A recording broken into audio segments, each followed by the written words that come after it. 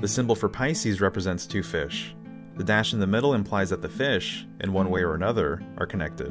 In illustrations of Pisces, this is typically represented as a ribbon or cord, sometimes coming out of the mouths of the fish. What I find fascinating is that this symbol has a relationship to the cross section of a torus field, which looks like this. The torus field contains many advanced concepts and secrets, but for today, we'll be analyzing it through this basic perspective. Energy flows from inner to outer and loops back again in a cyclical fashion. This basic shape can be found all over the natural world. As an example, trees follow this general framework.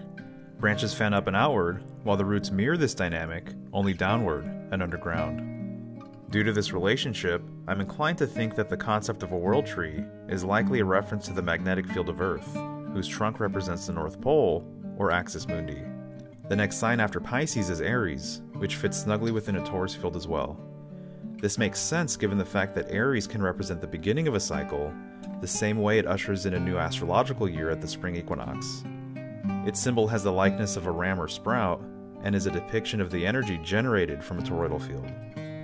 After Aries comes Taurus, which shares the namesake of the torus field, and for good reason. It's likely that the Bull of Heaven not only represents the Taurus constellation, but is also an explicit reference to the torus field of Earth.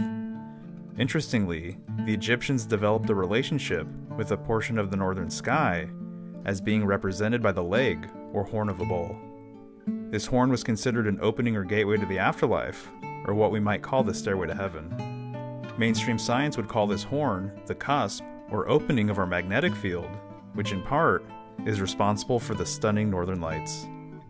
Adding to that, the upper cusp of the torus field reminds me a lot of the Pisces constellation, which depicts two fish leaping from the same stream. In a way, this is another visualization of energy sprouting from the center of a toroid and returning to which it came. The two fish could also be interpreted as the dual aspect of a torus field.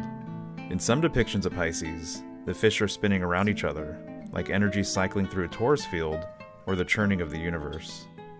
In other versions, one fish appears to be returning while the other is leaving, the same way one side of a torus field projects and the other receives. And as the last sign of the zodiac, I find all of this appropriate for Pisces, which represents the end of a cycle, and by extension, the beginning of one as well. As always, I'd love to know what you think.